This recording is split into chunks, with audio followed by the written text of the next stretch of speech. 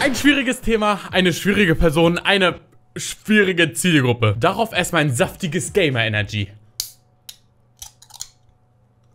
Das Ding ist, Monte hatte mich schon mal blockiert auf Twitter und ich glaube, das wird sich nach diesem Video wiederholen. Ende 2016 hatte nämlich jemand bei ihm kommentiert, als er irgendwie 400 Euro an irgendeine Organisation oder so gespendet hatte, dass es ja überhaupt nichts Großes für Monte wäre und 400 Euro hat er doch locker in der Tasche und deswegen ist es überhaupt gar nicht krass, dass er 400 Euro donated hat. Der Typ meinte dann aber trotzdem, Monte, bester Mann. Und Montana Black hatte diesen Kommentar bei Twitter als Bild gepostet und dazu geschrieben, das ist der dümmste Kommentar 2018. 16. Und ich hatte dann darauf geantwortet, oh Mann, ja, du hast recht.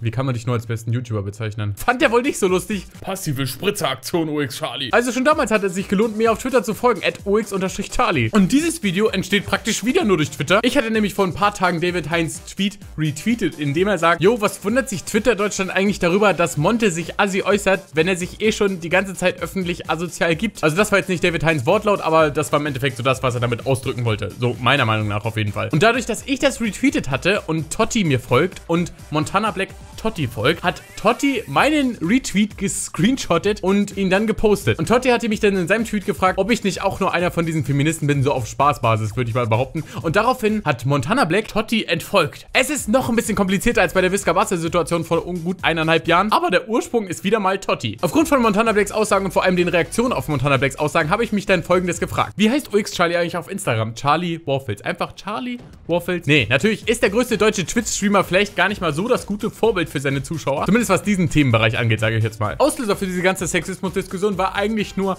eine komische Frau, die sich über Manspreading öffentlich aufregt. Für die Leute, die jetzt gar nicht wissen, was Manspreading ist, das ist, wenn man sich als Mann in eine Bahn setzt oder in eine U-Bahn oder was weiß ich, irgendein öffentliches Verkehrsmittel und sich dann breitbeinig hinsetzt. So von Natur aus, sage ich mal einfach. Und das Problem an der ganzen Sache ist, dass, weil dann können Frauen nicht mehr da sitzen.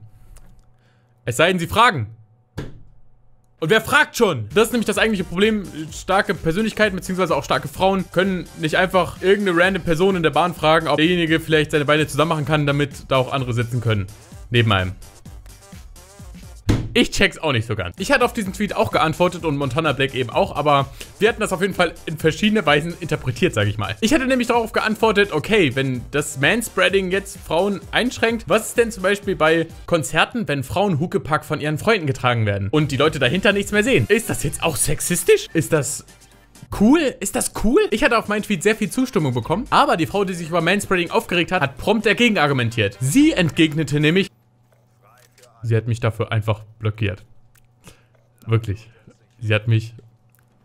Sie hat mich dafür einfach blockiert. Also ohne Scheiß, ich hatte mich wirklich gefragt, ob man da irgendwie gegen argumentieren kann oder ob das jetzt nicht sexistisch ist, weil Frauen sind ja auch tendenziell kleiner vom Körperbau und dann ist das vielleicht gerechtfertigt oder ist das... I don't know. Ja, auf dem Account von UX-Charlie auf Twitter geht's ab, Freunde. Am besten mal followen.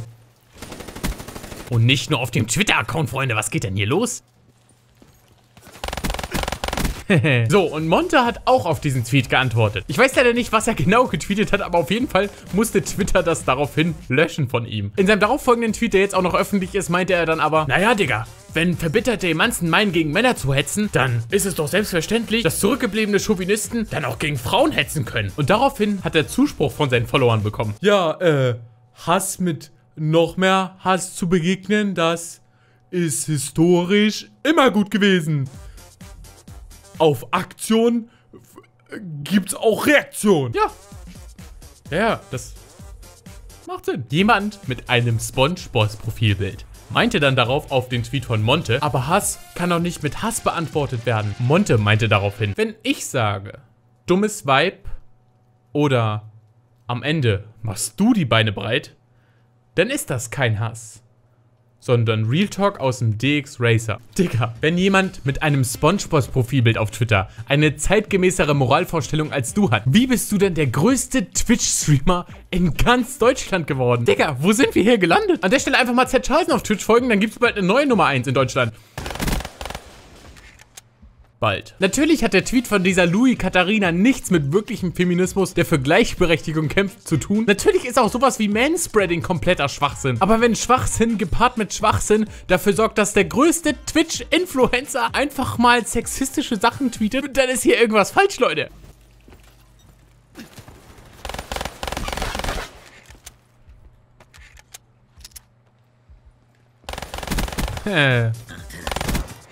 Pro. Im Statement von Monte ein paar Tage darauf, beziehungsweise im Entschuldigungsstatement, wird es aber noch ein bisschen besser.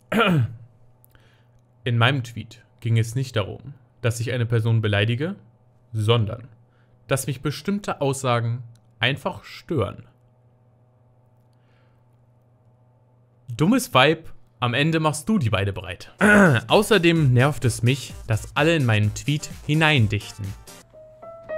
Dummes Vibe, am Ende machst du die Beine breit. Das, der Anfang mit dummes Vibe. Der, der dreihebige Jambus in der ersten Strophe, richtig. Richtig, richtig. Was, was möchte uns der Künstler damit sagen?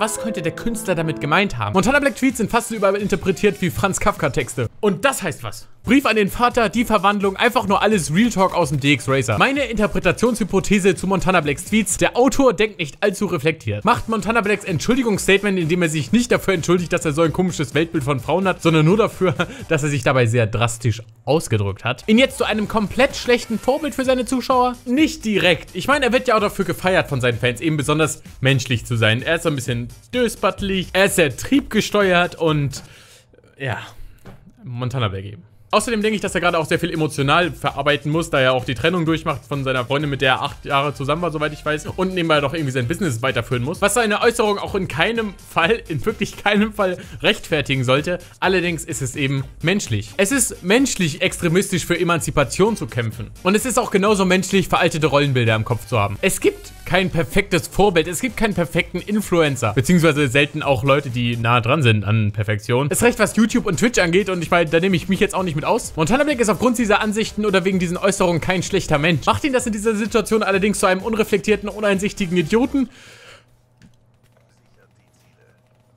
Sag dir das nicht zu, denn meine ich eben meinetwegen Hate oder Dislike, ich vergieße sicher keine Tränen Langsam merke ich, alles geht um Patte, was ein dummes Game Und das hier, was ich mache, wage ich Kunst zu nennen Du hast wohl recht, so eine Songs schaffen Angriffsfläche Doch hab ich wirklich lieber das, als dass ich gar nichts hätte